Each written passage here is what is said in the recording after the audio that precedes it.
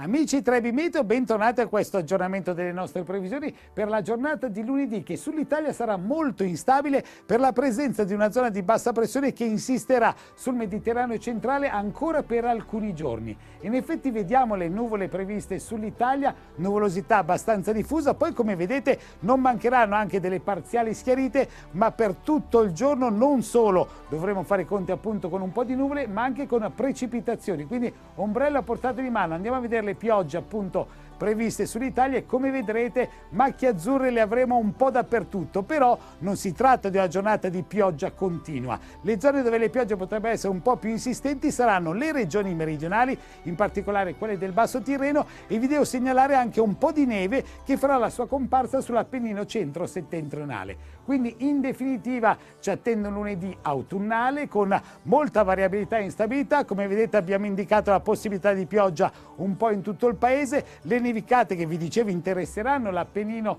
centro-settentrionale a quote medio-alte, ma intanto continueranno a cadere anche sulle Alpi, lì a quote anche piuttosto bassine. Temperature in effetti al nord contenute. Con questo è tutto, ma per dettagli vista la situazione vi aspetto su trebimeteo.com.